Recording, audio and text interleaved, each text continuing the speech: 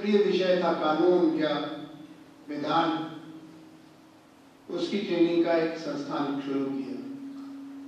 राजारायण जी खुद, आप जानते हो कि महामना मदन मोहन मालवीय के, कोई बात नहीं, हॉल छोटा है, हम लोग बात कर लेंगे से ही वो राजनीति शास्त्र में उन्होंने एमए किया था और बीएचयू के ही लॉ कॉलेज से एलएलबी किया। और उनके अपने जीवन में भी कानून का ये प्रशिक्षण उनको बहुत काम आया। आपको अपनी पढ़ाई में भी उनके कुछ मुकदमे नजीर के तौर पर पढ़ने का मौका मिलेगा। उसमें खास तौर पर एक ऐसा मुकदमा जिसने हिंदुस्तान की राजनीति की दिशा बदल दी। इंदिरा गांधी बनाम राजनारायण चुनाव के अवैध घोषित होने का जो परिणाम निकला वो आज तक देश और दुनिया के गलियारों में गूंज पैदा करता है, क्योंकि भारत की राजनीति में, भारत की प्रधानमंत्री सत्ता के दुरुपयोग की दोषी पाए जाएँ, ये अपने ढंग की बेमिसाल घटना थी, उससे पूरी राजनीति की बुनियाद हिल गई, इमरजेंसी लगी, इसमें खुद राजनारायण जी को भी उन्नीस महीने जेल में रखा गया, लेकिन उसके बाद जब वो जेल से निकले तो सीधे भारत की जनता के कंधों पर बैठ करके, भारत सरकार के महानायक बने। और इस पूरी प्रक्रिया में उन्होंने जो कानून का पक्ष था, उसका सदुपयोग किया। राजनारायण जी का अपना भी जीवन, पहले अंग्रेज़ी राज से लड़ने में विद्यार्थी जीवन में और बीएचयू के छात्र नेता थे। और सन बयालीस में जब भारत छोड़ो आंदोलन का आह्वान महात्मा गांधी और विद्यार्थियों की टोली लेके पूरे पूर्वी उत्तर प्रदेश में फैल गए और बहुत दिनों तक प्रतिरोध का काम किया। फिर लंबी जेल काटी। जेल से निकले किसानों का काम करने लगे। उन्नीस में जब पहली विधानसभा बनी उत्तर प्रदेश की तो उस समय चुनाव न सिर्फ़ जीते इस इलाके से, बल्कि उत्तर प्रदेश में नेता विरोधी दल भी बने। वो समय लोकतंत्र निर्माण का था। 1975 में यानी आज से लगभग 40 साल पहले, जब कुर्सी के बचाने के कोशिश में, उस समय के प्रधानमंत्री और सरकारी पार्टी ने भारत के लोकतंत्र को स्थगित करने का फैसला किया, इमरजेंसी लगाने का फैसला किया तो उस समय भी राजनारायण जी प्रतिरोध की अगली कतार के नायक थे। मुझे खुद मालूम है कि उस समय के दो बड़े देश के नेता, डॉक्टर राम मनोहर लोहिया और लोकनायक जयप्रकाश नारायण भारतीय राजनीति के तमाम नेताओं की भीड़ में सबसे ज़्यादा भरोसा राजनारायण जी पर उनकी याद में बने कॉलेज में जब मुझे आने का पहला मौका मिला तो किस विषय पर बात की है? हमने अभिषेक जी से कहा कि सवाल तो बहुत है देश के सामने, खासतौर पर युवा विद्यार्थियों के सामने। शिक्षा का सवाल है, रोज़गार का सवाल है राष्ट्रीय विकास का सवाल है। लेकिन जो बुनियादी सवाल है, इसके लिए कि हमें गंभीर विमर्श करना चाहिए, वो लोकतंत्र बनाम तानाशाही का सवाल उसका ये मतलब नहीं कि आज लोकतंत्र खतरा है और कल लोकतंत्र स्वस्थ है। लोकतंत्र अपने आप में, आप तो कानून के विद्यार्थी हैं, एक वैधानिक व्यवस्था है सत्ता संचालन की। इसमें लोगों को सर्वसत्ता मान माना गया। और उनके राय से जिसको बहुमत मिले, उसको सीमित समय के लिए सत्ता संचालन का जिम्मा दिया जाता है। और जब तक सत्ता चलती है, तब तक तो बहुमत का नियंत्रण माना जाता है। लेकिन मीडिया के ज़रिए, नागरिक संगठनों के ज़रिए, विरोधी दलों के ज़रिए लोकतंत्र की रोज रोज की जाँच पड़ताल भी चलती है और नागरिकों को अपनी अभिव्यक्ति का अधिकार रहता है, संगठन का अधिकार रहता है और तो और आंदोलन का भी अधिकार रहता है। इस माने में लोकतंत्र एक नई व्यवस्था बनी, जिसकी रचना का काम शुरू तो इंग्लैंड से हुआ, क्योंकि फ्रांस में क्रांति हुई लोकतंत्र के लिए, लेकिन आप जानते हैं कि वो असफल हो गई।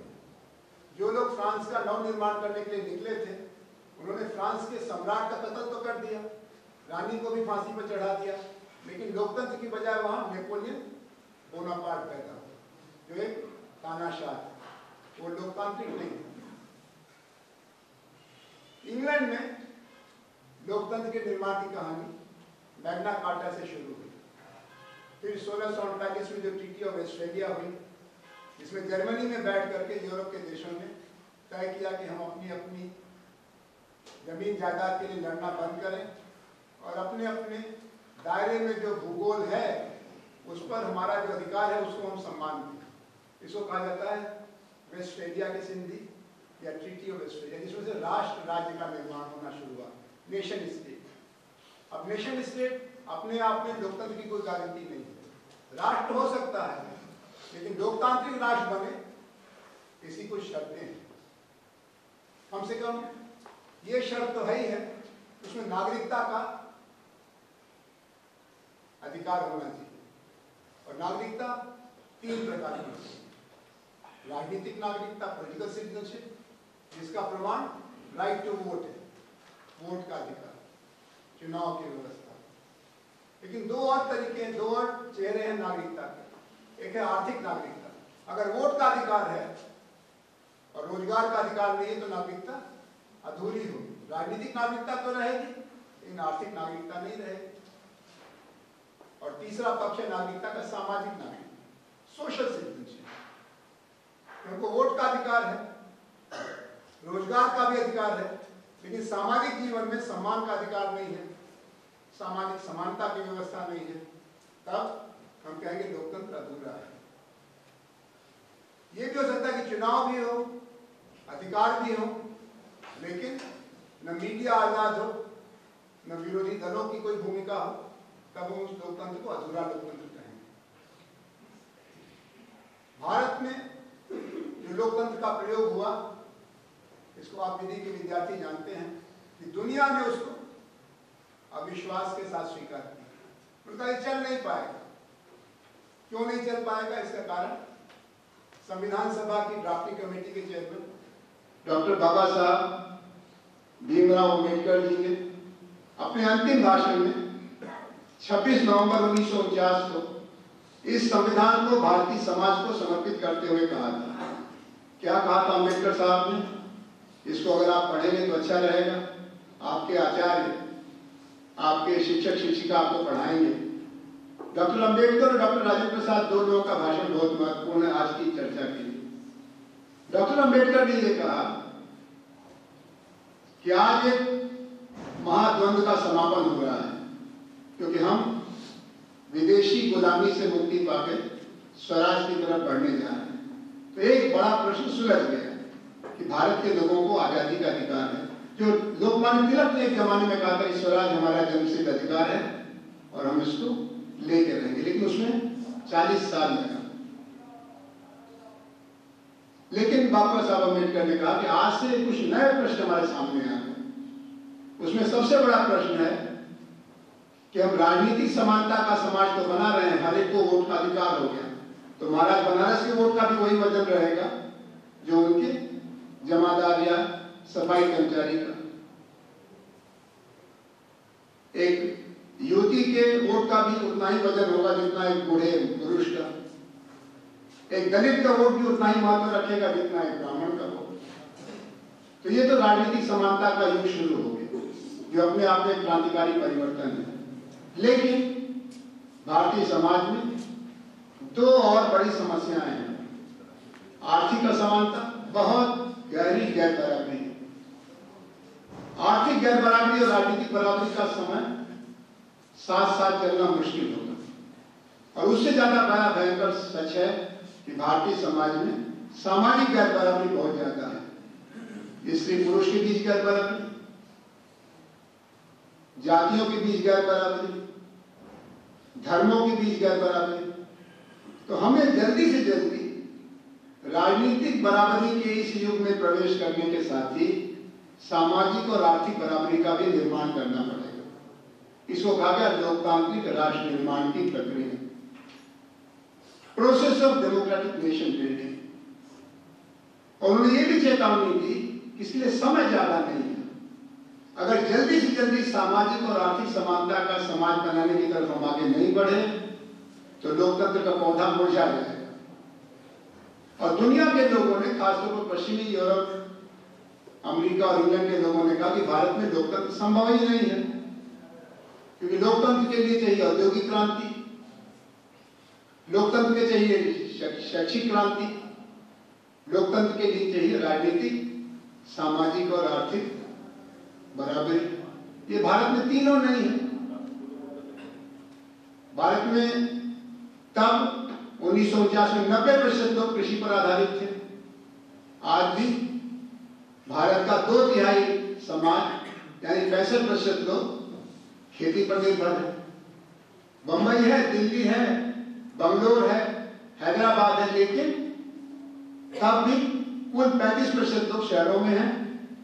उसमें बलिया और गाजीपुर जैसे शहर भी हैं, जिनको बड़ा गाँव कहना ज़्यादा ठीक है बजाय अच्छा शहर, क्योंकि अगर बलिया में कोई बीमार पड़े तो कहाँ भेजते हैं? बनारस या पटना? बलिया में किसी बच्चे को पढ़ना पढ़ाना है तो कहाँ जाते हैं? बनारस, पटना, लखनऊ, दिल्ली। न शिक्षा की सुविधा, न स्वास्थ्य की सुविधा, न रोज़गार के अवसर। तो शहर किस काम का? खाली नाम का। ऐसे शहर बहुत है भारत में, जिनको हम कहते हैं अत्यधिक पिछड़े ज़िले। भारत के साढ़े सात सौ, पौने आठ सौ जिलों में डेढ़ सौ ज़िले ऐसे हैं, जिनको बेहद पिछड़ा जिला माना जाता है। और उन जिलों में बहुत बगावत है। वहाँ लोकतंत्र बहुत कमज़ोर है।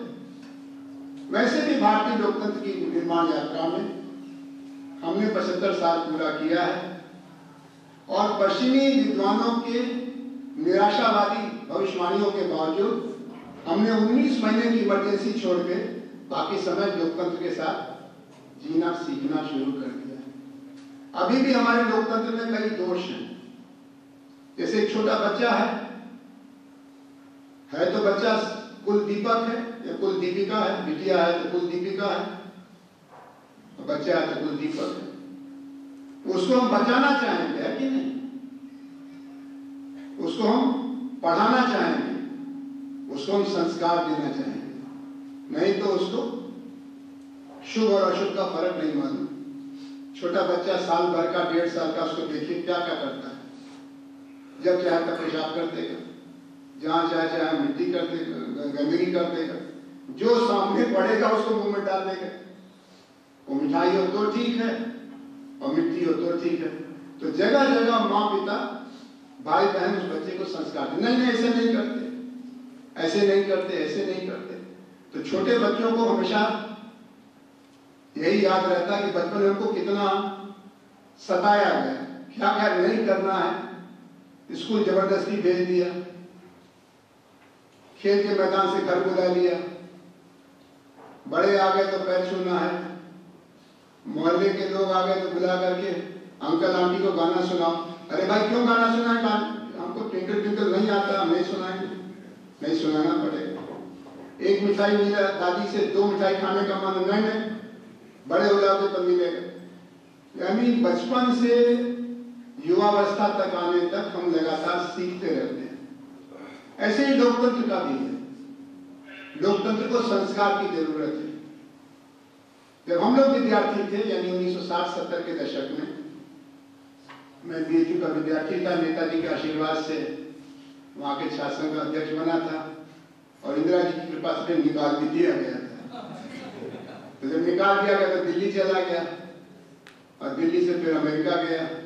पढ़ के आया तो जहाँ से निकाला गया तो वहीं पढ़ाने का मौका मिला।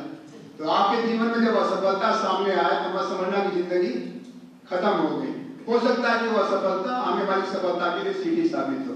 बशर्ते कि आप उस असफलता के कारणों को समझें और उसका निदान करने के लिए अपने अंदर कुछ नया कौशल विकसित करें। तो हमारे विद्यार्थी जीवन में गरीबी भारतीय लोकतंत्र की सबसे बड़ी चुनौती थी। चारों तरफ़ अकाल था। अमेरिका से जो गेहूँ, सुअर और गाय नहीं खाती थी, उसको मंगा के हम लोगों के घर में रोटी पकती थी। बेरोजगारी इतनी थी कि जब सालाना जलसा होता तभी हमने देखा विद्यापीठ के गेट पर लिखा हुआ था, वार्षिकोत्सव पैंतालीसवां या उनचासवां। कोई आए होंगे गवर्नर साहब या शिक्षा मंत्री जी। हमारे समय में मंत्रियों की हिम्मत नहीं पड़ती थी कि समावर्तन समारोह में या वार्षिक उत्सव में आवे, क्योंकि जैसे ही वो घुसते थे, काला झंडा लेके हम लोग वापस जाओ वापस जाओ। डिग्री बांट देते थे। और हज़ारों हज़ार लड़के, लड़कियाँ पढ़ करके आईआईटी में all India institute medical science में, जाने कहाँ कहाँ बीएचयू समेत विदेश जाते थे। एक भारत छोड़ो आंदोलन चलता था पढ़े लिखे लोगों का क्योंकि यहाँ रोज़गार नहीं था। तो बेरोजगारी और गरीबी दो बड़े संकट थे भारतीय लोकतंत्र के लिए, उन्नीस सौ चौहत्तर पचहत्तर में। और उस समय बड़े नेता थे लोकनायक जयप्रकाश नारायण। आप में से कुछ लोगों ने उनका नाम सुना होगा। कितने लोगों ने जयप्रकाश जी का नाम सुन रखा? लोकनायक जयप्रकाश नारायण एक, दो, तीन, चार। अरे सब लोग हाथ मत उठाओ भैया। जेके नहीं मालूम हो के नहीं मालूम क्योंकि उनका उनका उनका निधन आपके जन्म के बहुत पहले हो गया था। उनका निधन उन्नीस में हो गया था।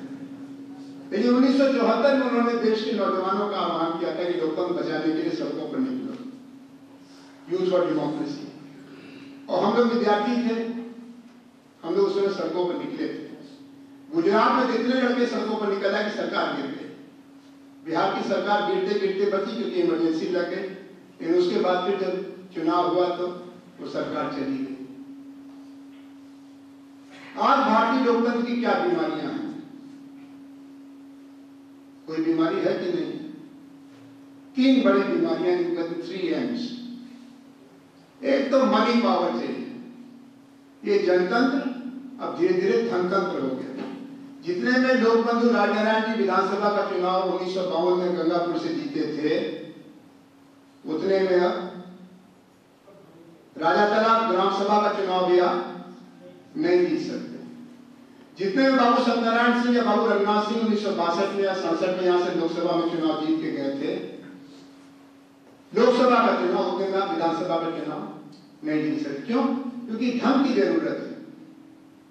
आदमी तो ये अच्छा है, महिला ये बहुत अच्छी है, इसको जीतना चाहिए, लेकिन तो पैसा नहीं ये आई है टेंपो पर प्रचार करने के और जिसका मुकाबला वो हेलीकॉप्टर पर घूम रहा है तो हेलीकॉप्टर देखने के लिए दस हज़ार आदमी की भीड़ हो जाए। हमके का मिली आए वो वोट मांगे, तू तो बन जेबा एमपी हमके का मिली हमके का का चाहिए? पहले धोती से काम चल जाता था। उसके बाद खाने का इंतज़ाम होने लगा। एक हफ़्ता बिरयानी बिरयानी। या कबाब या कबाब वाला मांसाहारी या शाकाहारी या खीर पूरी। अब, अभी मैं गोवा में आकर ज़्यादा रहता हूँ। गोवा में इस बार विधानसभा का चुनाव छोटा राज्य है गोवा। तो वहाँ हर वोटर को बीजेपी की तरफ़ से सरकारी पार्टी थी पाँच हज़ार रुपया दिया गया, हर वोटर।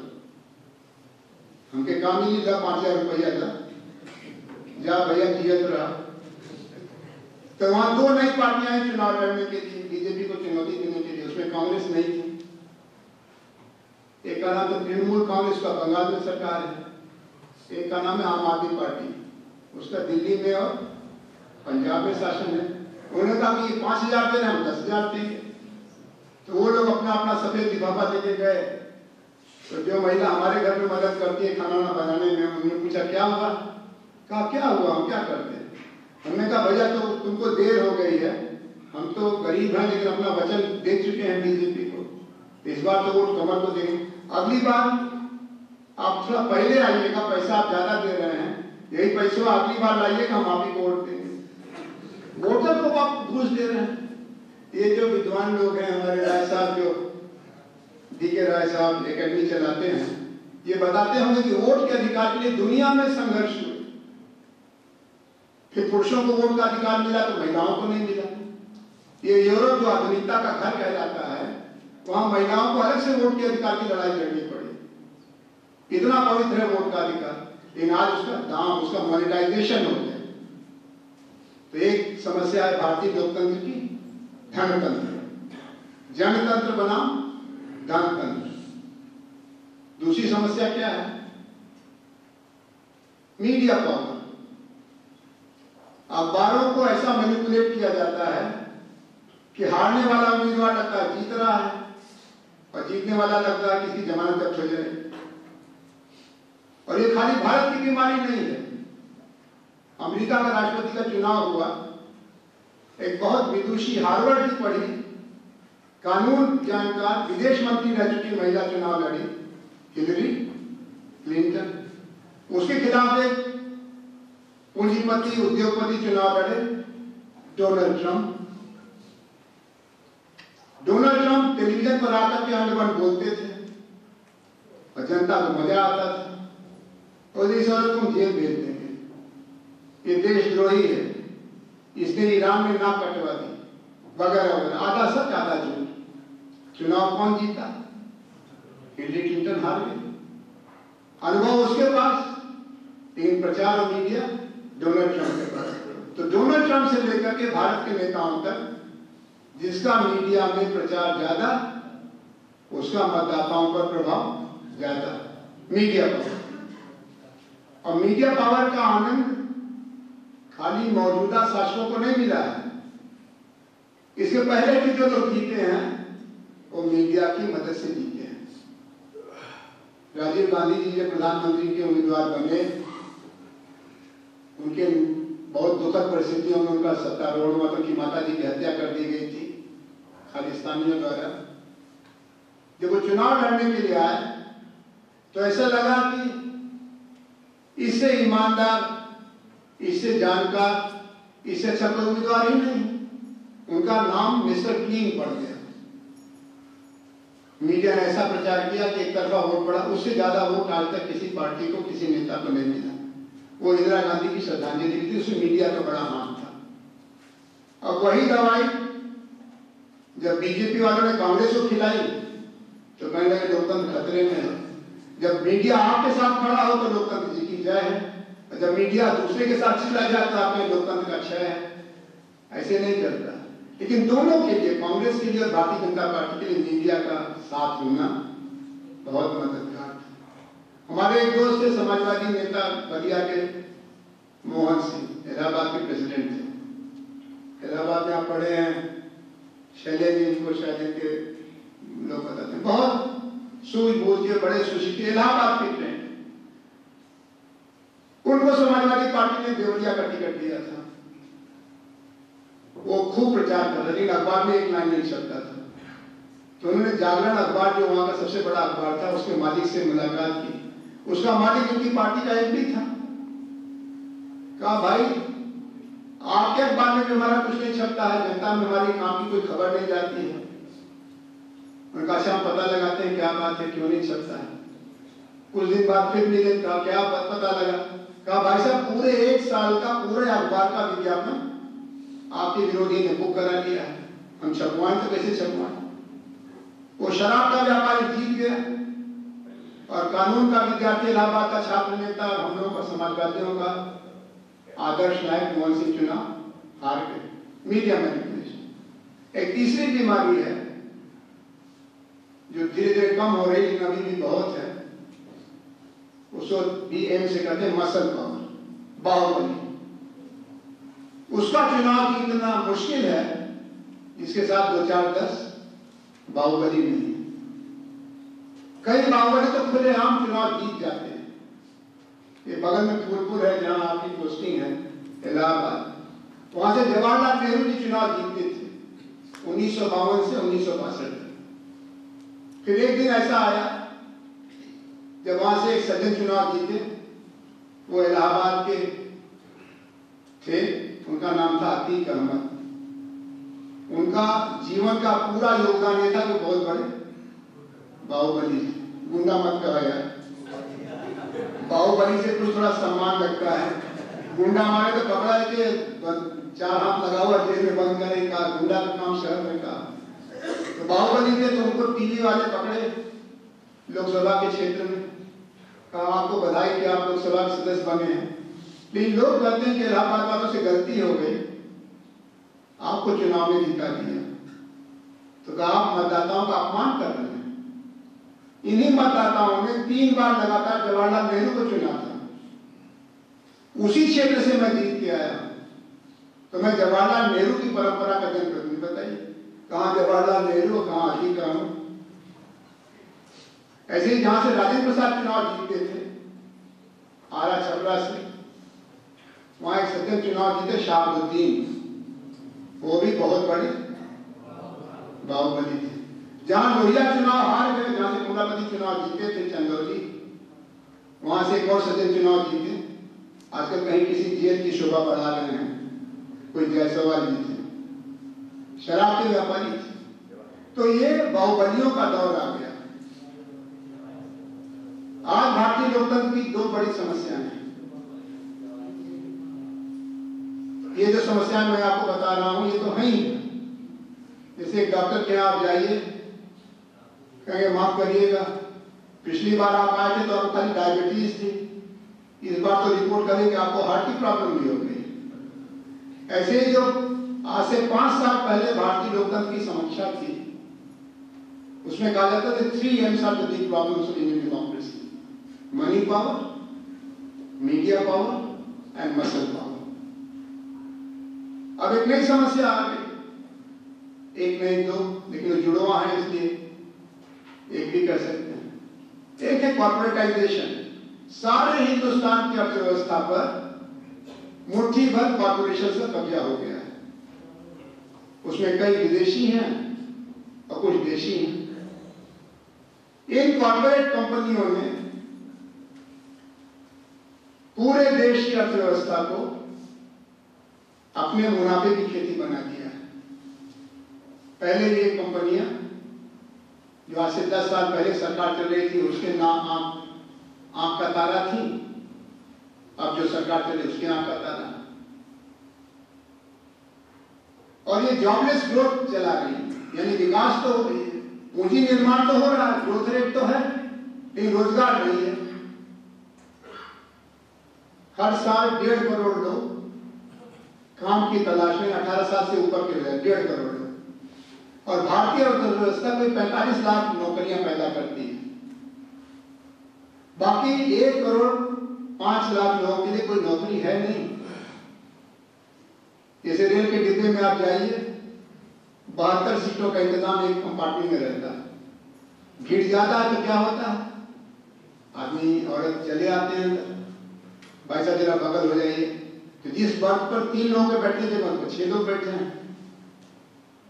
फिर भी भीड़ के लिए जगह नहीं बनी। तो कुछ लोग बाथरूम के बाहर खड़े हो जाते हैं। ऐसे करके अपनी यात्रा पूरी करते हैं। वैसे ही भारतीय रोज़गार क्षेत्र में रोज़गार विहीन विकास यात्रा के कारण आज अर्धरोजगारी और बेरोजगारी से फंसे हुए लोगों की भीड़ है इसका समाधान किसी के पास नहीं। जब तक कि अर्थव्यवस्था की दिशा नहीं बदलेगी, तब तक रोज़गार निर्माण अमेरिका में नहीं है, यूरोप में नहीं है तो भारत में कहाँ से होगा? मॉडल तो वही है। किसान लड़ रहा था। गांधी जी कहते कहते चले गए कि कृषि आधारित, कुटीर उद्योग आधारित अर्थव्यवस्था बनाओ तो रोज़गार भी रहेगा और विकास भी होगा। लेकिन उनकी सुनवाई नहीं हुई और अब कुछ देर हो चुकी है। दूसरी समस्या है कॉर्पोरेटाइजेशन के साथ साथ कम्युनलाइजेशन सांप्रदायिकरण। पाकिस्तान टूट गया। मुसलमान खुद मानते हैं कि उनसे बड़ी गलती हुई कि उन्होंने भारत के बंटवारे के समय चुप्पी रखी। और कुछ लोगों ने जिन्ना साहब का साथ दिया। उससे गलत कोई राजनीति हो नहीं सकती। पाकिस्तान की आबादी 22 करोड़ रह गई है क्योंकि एक हिस्सा टूट करके जो बड़ा हिस्सा था वो बांग्लादेश हो गया। फिर भी हमको बताया जाता है कि पाकिस्तान से भयंकर खतरा है। जबकि असली खतरा चीन से चीन ने लद्दाख में चार हज़ार वर्ग किलोमीटर ज़मीन पर कब्जा कर रखा है। गलवान घाटी कांड आपको याद होगा। हम लोग उसे बात कर रहे हैं, लेकिन वो सुधरने को तैयार नहीं है और हम फिर भी बताते हैं कि खतरा पाकिस्तान से पाकिस्तान से भी कुछ समस्या है कश्मीर में।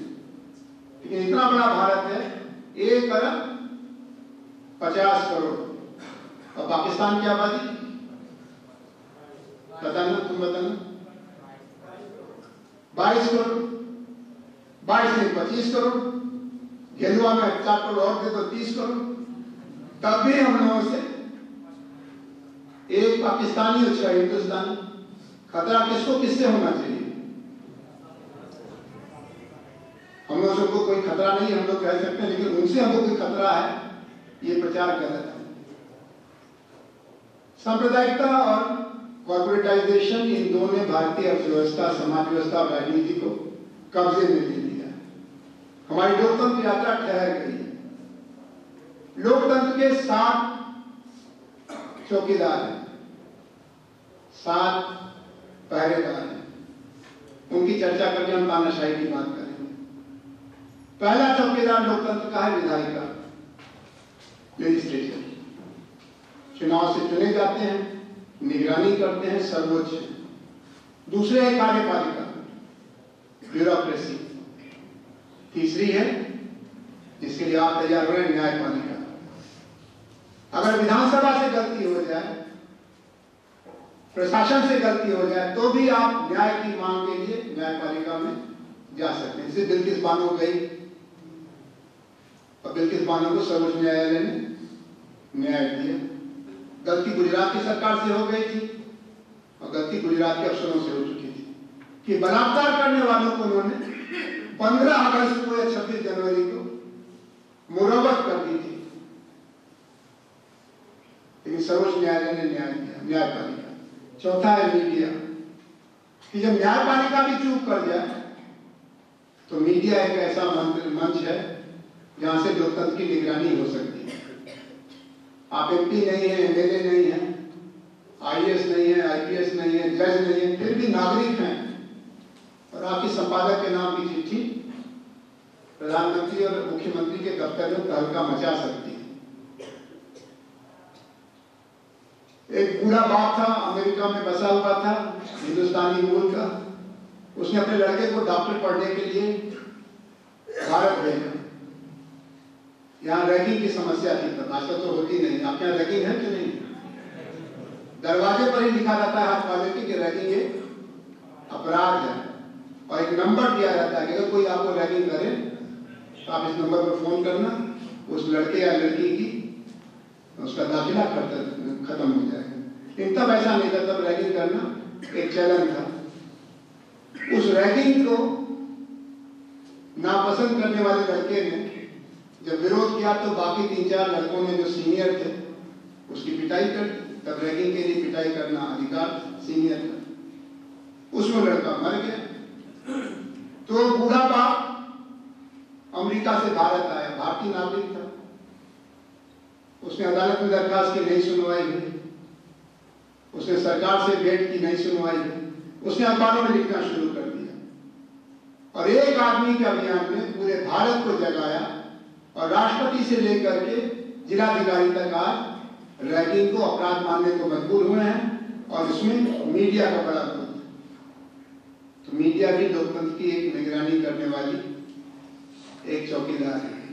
तीन और एक विरोधी दल। आज जब जी की चर्चा होती है तो राजाराम जी की सत्तर साल की सार्वजनिक जीवन में तो कुल ढाई साल मंत्री थे। बाकी समय तो नेता विरोधी दल थे। लेकिन विरोधी दल के नेता के नाते जब वो आवाज़ लगाते थे जनता की तरफ़ से तो बड़ी से बड़ी सरकार को भी, इंदिरा गांधी को भी, संपूर्णानंद को भी, चंद्रमा गुप्ता को भी सुनना पड़ता था। विरोधी दल भी लोकतंत्र का एक पहरेदार है। एक और है, उसको नागरिक समाज, सिविल सोसाइटी। एक नदी है नर्मदा। वो मध्य प्रदेश से चलती है गुजरात तक जाती है। उसमें गुजरात के हिस्से में बाँध बनाने का फैसला किया सरकार ने।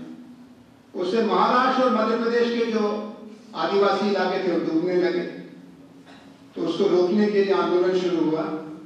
उसको हम लोग जानते हैं नर्मदा बचाओ आंदोलन। और उसकी नेता का नाम आप जानते होंगे। मेधा पाटकर मेधा पाटकर विधायक नहीं है, सांसद नहीं है, किसी पार्टी से भी नहीं जुड़ी है, लेकिन एक आंदोलन से जुड़ी है, सिविल सोसाइटी। तो सिविल सोसाइटी भी एक निगरानी करने वाला है लोकतंत्र का। और आखिरी चौकीदार है लोकतंत्र का विश्वविद्यालय। विद्या केंद्र रिसर्च सेंटर। सरकार का दावा, मीडिया का समर्थन, दलों की चुप्पी, उसके बावजूद अगर विद्वानों ने कहा कि सरकार का दावा गलत है तो समाज पर उसका असर होता है। इसीलिए विश्वविद्यालयों को बहुत महत्वपूर्ण माना जाता है रिसर्च सेंटर को बहुत महत्वपूर्ण माना जाता है। कहते हैं कि अगर किसी व्यक्ति का नाश होना है तो उसका मित्र, उसका डॉक्टर और उसका आचार्य, ये तीनों उसको सही दिशा नहीं देंगे तो उसका नाश होना निश्चित है। संस्कृत का श्लोक है। उसको भोजपुरी वगैरह में भी कहा जाता है कि वैद गुरु और मित्र इनको सच बोलना ही चाहिए। गुरु मतलब विश्वविद्यालय रिसर्च सेंटर्स तो ये सात एजेंसीज हैं डेमोक्रेसी के मॉनिटरिंग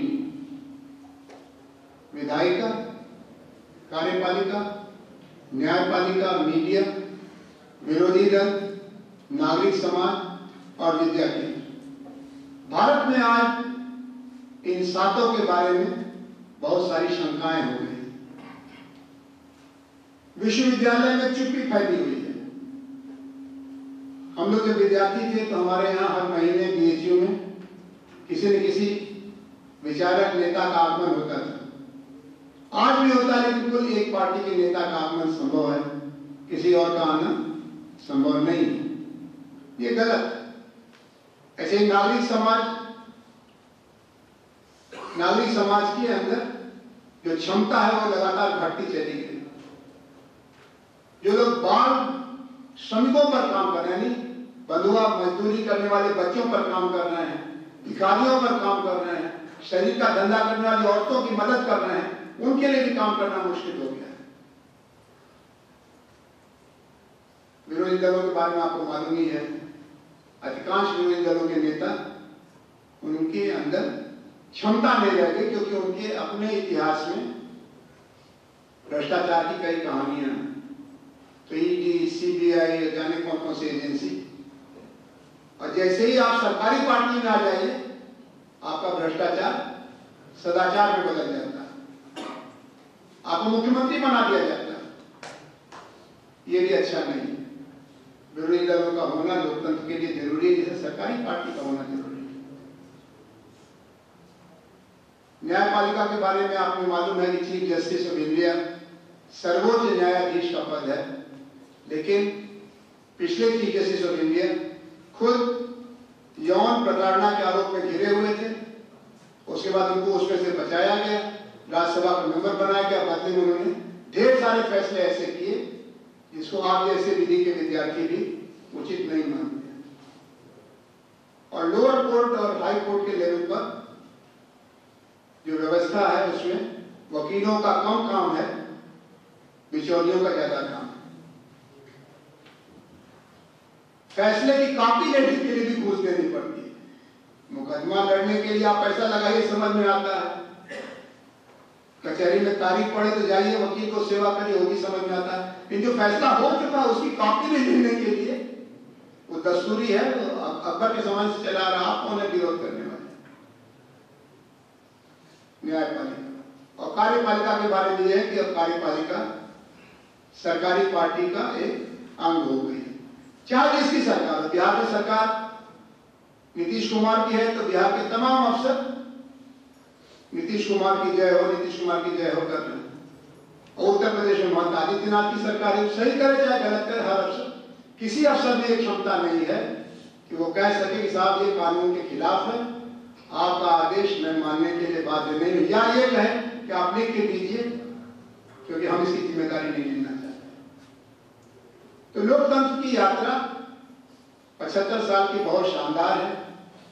भारतीय लोकतंत्र में जो क्षमता है वो कीनिया में नहीं वो फिलीपींस में नहीं पाकिस्तान में तो बिल्कुल नहीं। लेकिन जो यात्रा चल रही है, ये बेहतर हो सकती है और इसके लिए भी कुछ सुधार की ज़रूरत है। चुनाव सुधार उसका एक हिस्सा है, दूसरा हिस्सा है सत्ता का विकेंद्रीकरण। राजीव गांधी ने सत्ता के विकेंद्रीकरण की कोशिश की तिहत्तरवा चौहत्तरवा अमेंडमेंट आपको पढ़ाया जाता होगा संविधान का तिहत्तरवा और चौहत्तरवा संशोधन। इसमें सत्ता का विकेंद्रीकरण किया गया और गाँव सभा को कुछ अधिकार दिया गया। लेकिन सत्ता का विकेंद्रीकरण हुआ कि नहीं हुआ, ये तो नहीं मालूम। लेकिन लोग कहते कि भ्रष्टाचार का विकेंद्रीकरण ज़रूर हो गया। पहले विधायक जी और जिलाधिकारी तक भ्रष्टाचार की गाड़ी रुक जाती थी। अब सीधे गाँव में पहुँच गई मुखिया जी और सेक्रेटरी साहब मिलके, न खाता न वही, जो मुखिया जी का है वही सही। और नब्बे परसेंट फंडिंग दिल्ली से आ रही है। तो लखनऊ को भी कोई चिंता नहीं उस पैसे का सदुपयोग हो रहा है कि दुरुपयोग हो रहा है। लेकिन बिना सत्ता के विकेंद्रीकरण के लोकतंत्र का निर्माण कठिन होता जाएगा खाली चुनाव के ज़रिए लोकतंत्र का निर्माण कठिन हो चुका है, क्योंकि भारत की आबादी में 50 प्रतिशत करीब महिलाएँ उनचास दशमलव कुछ। और भारत की लोकसभा में विधानसभा में आज तक कोई लोकसभा ऐसी नहीं बनी पचहत्तर साल में पार्टी चाहे जो जीती हो, या विधानसभा में जहाँ पंद्रह प्रतिशत से ज़्यादा महिलाएँ विधायिका बन के आई हो या सांसद बन के आए ये तो रिप्रेजेंटेटिव डेमोक्रेसी है ना? तो रिप्रेजेंटेशन तो अनुपात में होना चाहिए। मर्द है पचास प्रतिशत और लोकसभा में पचासी प्रतिशत। इसको कहा जाएगा जेंडर डेफिसिट महिलाओं की उपस्थिति के बिना हर हर बदलाव अधूरा है। और लोकसभा, विधानसभा में महिलाओं के लिए दरवाज़ा अभी भी बहुत सकरा और छोटा है। ऐसे ही गरीबों का सवाल है। अस्सी करोड़ लोग भारत सरकार की तरफ़ से हर पंद्रह दिन मुफ़्त राशन पाते हैं। कोरोना से काम शुरू हुआ और उसको रोकने की हिम्मत किसी की नहीं पड़ रही। इतनी गरीबी है। लेकिन लोकसभा में पचहत्तर प्रतिशत जो सदस्य करोड़पति हैं। तो समाज में तो तीन चौथाई लोग साधनहीन है और लोकसभा में तीन चौथाई लोग करोड़पति हैं। तो ये एक दूसरे का प्रतिनिधित्व कर पाएँगे। जाके पाँव न फटे बेवाई, सो का जाने तीर पर है। वहाँ पर चर्चा ही नहीं हो पाती है, गरीबी की बेरोजगारी इसके लिए चुनाव व्यवस्था को सुधारना पड़ेगा और राजनीतिक दलों को सुधारना पड़ेगा। मैं लोकतंत्र की चुनौती की चर्चा की, यही समाप्ति करना ठीक समझता हूँ। कि आपके पास ना सवाल होंगे तो अच्छा रहेगा। अभी 2024 में लोकसभा में चुनाव होगा। आप में अधिकांश लोग अठारह वर्ष से ऊपर है तो आप वोट भी देने जाए। मतदाता वोट किस आधार पर देता है वो अपना एक अलग विज्ञान है। और उस विज्ञान का भी संबंध लोकतंत्र के स्वास्थ्य से अब तानाशाही की बात कर तानाशाही एक ऐसी व्यवस्था है, जिसमें जनता की आवाज़ की ज़रूरत नहीं। कुछ लोग मिल करके सत्ता संभालते हैं और उनमें से कोई एक सर्वोच्च नायक या नायिका हो जाता है। तानाशाह पुरुष हो ये ज़रूरी नहीं है, महिला भी तानाशाह हो सकती है। तानाशाही का एक सामाजिक आधार होता है। तानाशाही ईश्वर का अभिशाप नहीं है। उसमें समाज का समर्थन होता है। कौन लोग जो तानाशाही के समर्थक होते हैं? उद्योगपति। क्योंकि उद्योगपतियों को ये लगता है कि ये जो आंदोलन का अधिकार मजदूरों को संगठन का अधिकार बेमतलब की झंझट है। जब देखो तब झंडा लेके मुर्दाबाद मुर्दाबाद करते रहते हैं। हमारा काम कठिन हो जाता है। उद्योगपति। दूसरे सुविधा प्राप्त वर्ग जिनको आज की समाज व्यवस्था में सुख है, सुरक्षा है, उनको बदलाव नहीं चाहिए। और लोकतंत्र शांतिपूर्ण बदलाव का विज्ञान है।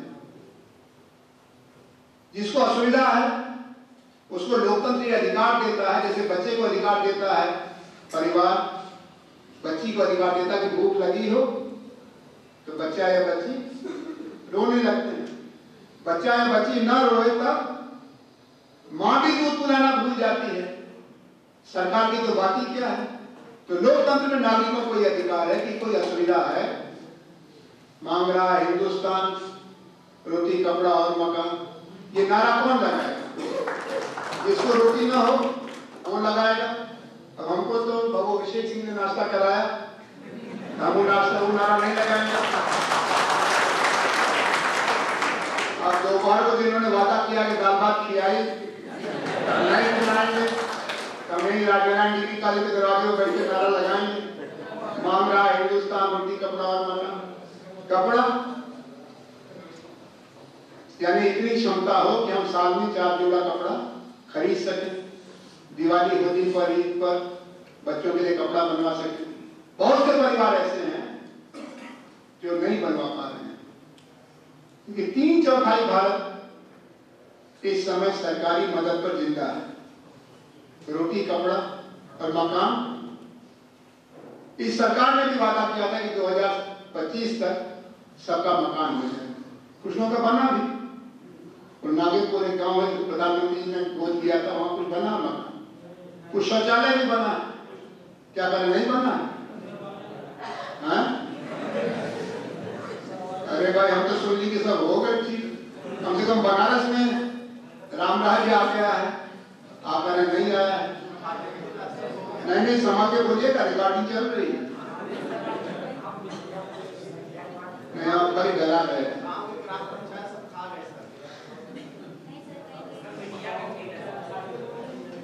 देखिए, कितनी गुनगुनाहट शुरू हो ये लोकतंत्र है। ये लोकतंत्र है जो हमको समीक्षा का अधिकार देता है, सच को बोलने की ताकत देता है और साहस देता है बड़े सपने के लिए तो अभी का जो समाज है, ये सपनों के मारे में तो बहुत तरक्की करके हमारे सपने बहुत बड़े हो चुके हैं। कभी ऐसा देश देश था जहाँ पर लड़कियों के तो पढ़ने का सवाल ही नहीं था। हमारी दादी एक दरेगू की थी, बड़ी मुश्किल से अपना नाम लिख पाती थी। इन्होंने हमारी बुआ को एक कराया और हमारी माँ हाई स्कूल पढ़ के पूरा नहीं कर पाई, परिवार चलाना था। इनके छह बच्चे हम सब हुए, छह भाई बहन को। जितना पढ़ना था M M S C P H D कराया। ये एक शिक्षा की क्रांति हुई आप लोगों में से बहुत से लोग ऐसे परिवारों के होंगे, खासतौर शिक्षक, शिक्षिकाएँ, जिनके माँ बाप हाई स्कूल इंटर ज़्यादा नहीं पढ़ पाए। इनाज और पति बचवा, जितना पढ़े थे हो पढ़े। लड़कियों की शादी, ग्यारह बारह वर्ष की शादी उम्र में हो जाती थी। अब अगर कोई लड़की इंटर पास नहीं है बीए पास नहीं तो उसकी शादी का सवाल ही नहीं। पहले पढ़ा लिखा ला भैया, तब ब्याह का सोचा। लड़की भी कर रहे कि मम्मी अभी और शादी नहीं करनी हमको अभी और पढ़ना है। यानी शिक्षा की क्रांति हुई। शिक्षा के बारे में हमारे सपने इतने हो गए कि दुनिया में जहाँ भी पढ़ाई की व्यवस्था है वहाँ भारत के लड़के लड़कियाँ पहुँच रहे हैं। पूरी दुनिया में, चीन में, रूस में, अमेरिका, इंग्लैंड में तो पहले से जाते थे। दूसरे, अन्याय के खिलाफ अब चुप रहना भारतीयों की फितरत नहीं रह गई। पहले औरतों का अपमान होता था। लड़की रोती हुई माँ से कहती थी, बाप से कहती थी। कहे चुप रह। चुप रह एक इज़्ज़त का सवाल। लड़की हो, ऐसे ही तुम्हारी ज़िंदगी रही। अब लड़की खड़ी हो गई है और संविधान उसके साथ है, कानून उसके साथ है, न्यायपालिका उसके साथ है, और जहाँ जहाँ मर्द और साथ साथ काम करते हैं, वहाँ सेक्सुअल हेरसमेंट के खिलाफ सेल बना दिया गया उसमें चीफ जस्टिस ऑफ़ इंडिया से लेकर के चीफ मिनिस्टर ऑफ़ दिस और दैट स्टेट वो सब अगर किसी स्त्री ने शिकायत की तो सफ़ाई उसको देनी पड़ेगी। निर्भया कांड के बाद ये परिवर्तन आया। दहेज हत्या कोई पूछता नहीं था कि पहली बीवी क्यों मरी? और शादी हो जाती थी। अब ये जो दहेज हत्यारे हैं, वो समाज में बहिष्कृत हो रहे हैं। ये सब क्रांतियाँ पिछले पंद्रह बीस साल में हुई। ऐसे ही जाति का सवाल। ऐसा कानून बन चुका है, अगर झूठी शिकायत भी हम आपके खिलाफ करते और हम दलित हैं तो बगैर जमानती शिकायत हो जाए ये जो परिवर्तन हुए हमारे सपनों के परिवर्तन। लेकिन सच अभी बहुत बदसूरत और इसी को बदलने के लोकतंत्र को बेहतर बनाने की लड़ाई चल रही जो नई पीढ़ी है इसको आज की राजनीति से संतोष नहीं है क्यों संतोष नहीं है क्योंकि उनको लगता है कि पार्टियों के अंदर जनतंत्र नहीं है परिवारवाद है समाज में जनतंत्र नहीं है दबंगों का राज है हमें बेहतर दुनिया चाहिए अब मैं तानाशाही की बात कर रहा था तानाशाही क्यों इतनी आसानी से आ जाती है? कि समाज में पहले से कुछ लोग हैं जो तानाशाही के समर्थक और जनतंत्र के विरोधी भी उसमें एक तो उद्योगपति वर्ग उसको लगता है कि मजदूरों को काबू में रखने का तरीका तानाशाही है लोकतंत्र नहीं ऐसे ही प्रशासन। अफसरों से पूछिए कि तानाशाही में प्रशासन चलाना आसान है कि लोकतंत्र में? भाई साहब, तानाशाही। क्यों जिसको देखे वही नेतागिरी करता। है अपना विजिटिंग कार्ड भेज देगा। पराजित प्रत्याशी विधानसभा कोलूपुर भारतीय विकास पार्टी, भारतीय समाज कई हज़ार पार्टियाँ और अपने पिता से जितना नहीं डरता है अफसर, उससे ज़्यादा नेताओं से डरता है। क्यों? जाते ही झंझट शुरू हो जाएगी आपने मकान कैसे तोड़वाया? आपने ज़मीन का आवंटन गलत किया, आपने इनका नाम क्यों काट दिया? यानी निगरानी। और वो प्रशासन अच्छा करता है, इसकी निगरानी अच्छी होती है। लेकिन अफसरों को लोकतंत्र से हज़ार शिकायत। भाई साहब, बहुत नेतागिरी होती है। हमारी यूनिवर्सिटी में जहाँ विद्यार्थी थे जहाँ नेताजी राजनारायण विद्यार्थी थे। पिछले पच्चीस साल से छात्र संघ नहीं है। उसमें सबसे खुश कौन है? Vice chancellor. उसके बाद टीचर। पढ़ाने जाए चाहे जाए आपसे मतलब। शासन होता तो सब मतलब हो जाता तो राहुल गांधी आया कहा कि हम शासन बनवाएँगे, उनकी सरकार भी आगे शासन नहीं बना बीजेपी के लोग आए कहा शासन बनवाएँगे, उनकी सरकार दस साल से चल रही है, लेकिन बीचों में शासन नहीं बना। क्यों? कि शासन एक अंकुश हो जाता है। बेलगामी खत्म हो जाती लेकिन मध्यम वर्ग भी दिमागी तौर पर तानाशाही का समर्थक होता है। उसे अपने अधिकारों की गारंटी तो चाहिए, लेकिन कर्तव्य की गारंटी नहीं चाहिए। हमारी तनख्वाह यूनिवर्सिटी पूरी देश की तो लड़ाई हम लड़ेंगे। लेकिन जो हमारे घर में सफ़ाई कर्मचारी है, बर्तन मारने वाली महिला है, उसका भी साल में एक बार तनख्वाह बढ़ाएँ, इसके बारे में हम नहीं सोचते। और वोट के मौके पर भी आप जानते हैं कि 60 से पैंसठ परसेंट वोट पड़े। तो लोग कहते हैं, लोकतंत्र की जय। है पैंसठ परसेंट वोट पड़ा। अरे भाई, वोट तो 100 परसेंट को पड़ना था। नब्बे परसेंट आते, पंचानवे परसेंट आते। चालीस परसेंट लोग वोट देने नहीं जाते। ये कौन लोग हैं? मैं चुनाव लड़ा था लोकसभा का 2014 में। साढ़े चार लाख वोट मिला था। लेकिन हमारे क्षेत्र में जो चुनाव जीते उनको पौने छह लाख वोट मिला तो भोजपुरी के गायक और फ़िल्म स्टार हैं मनोज तिवारी, हमारे विद्यार्थी थे बी में। तो अपने विद्यार्थी से आगे में कोई बहुत दुख नहीं होता। ये कांग्रेस की जमानत जब्त हो गई थी। लेकिन वोट पड़ा था, पैंसठ परसेंट। पैंतीस परसेंट लोगों ने वोट ही नहीं डाला। कौन लोग थे? बड़ी कोठियों वाले। चुनाव के मौके पर हम तो जाते हैं वोट डालने।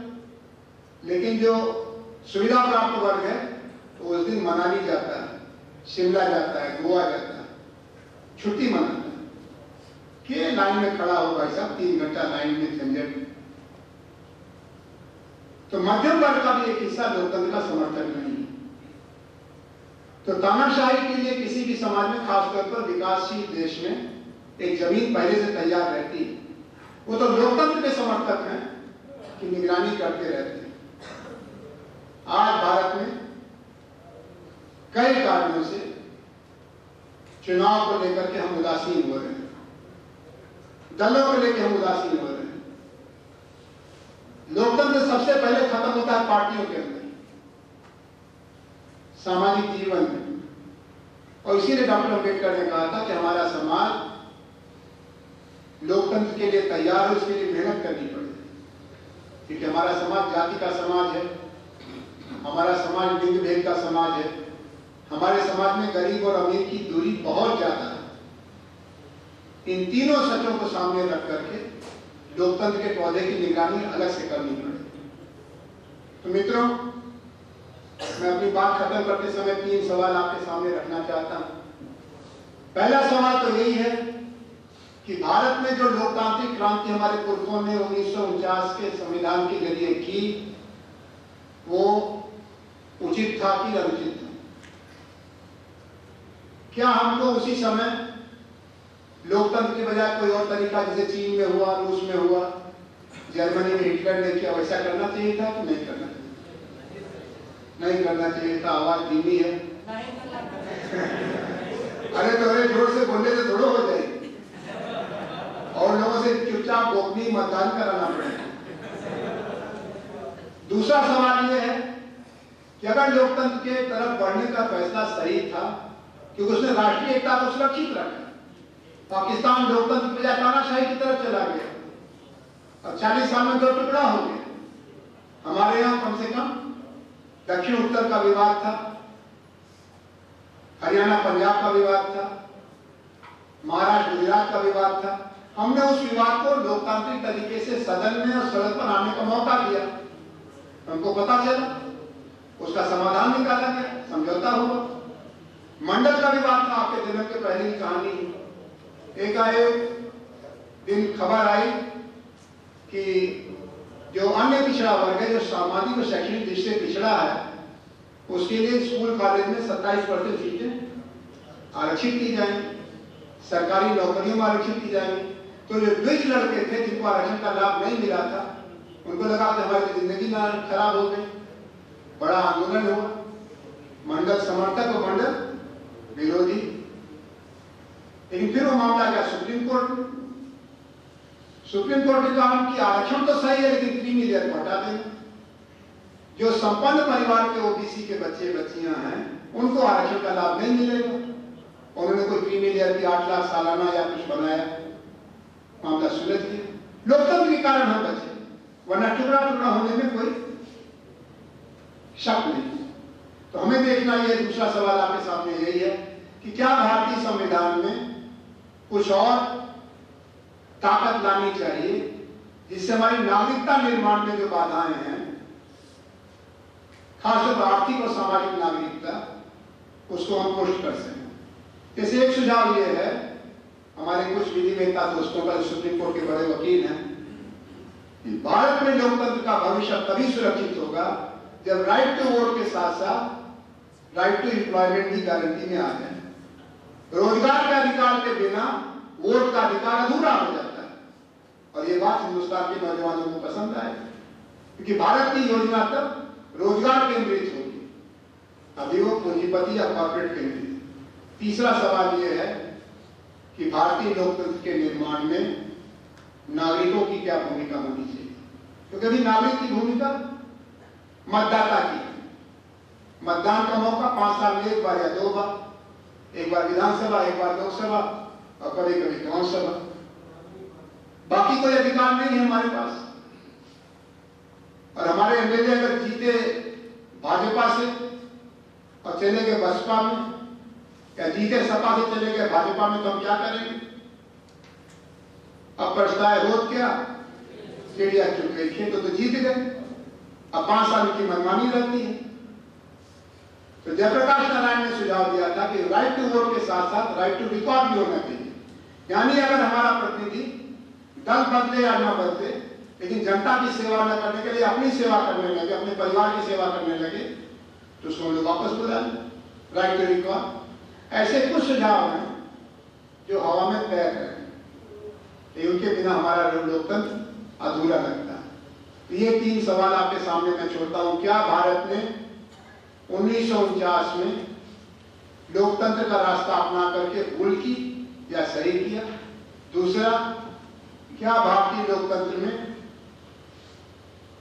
कुछ बुनियादी बदलाव की ज़रूरत है जिससे कि हमारी पार्टियाँ लोकतांत्रिक हो सके परिवारवाद खत्म हो सके, पूंजी का वर्चस्व खत्म हो सके?